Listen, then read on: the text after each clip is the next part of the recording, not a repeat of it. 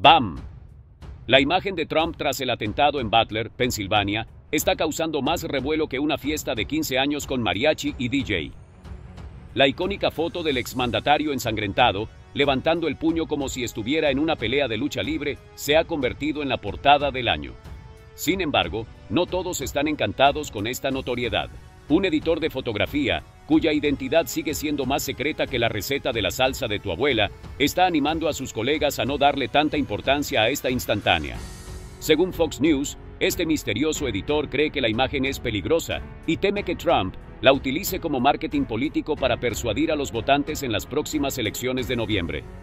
¡Ay caray! No es la primera vez que se intenta censurar a Trump.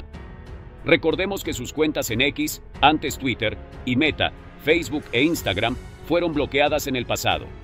Estas plataformas, al igual que el editor anónimo, parecen tener miedo de que Trump use su propia imagen para ganar apoyo. Pero, ¿realmente pueden detenerlo?